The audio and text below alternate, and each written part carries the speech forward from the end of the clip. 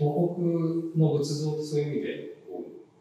えーまあ、中国から大陸横断して西に渡って、えーと、東北の上に上がっていく中で、ものすごくなんかいろんなものがこうハイブリッドされているような、えーと、文化の受け皿的な、えー、意味で、キッチュな何か魅力が秘めていて、なんかそれが自分のそういう掛け合わされていくイメージとすごく重なるものがあって、東北ってそういう意味で、西洋、東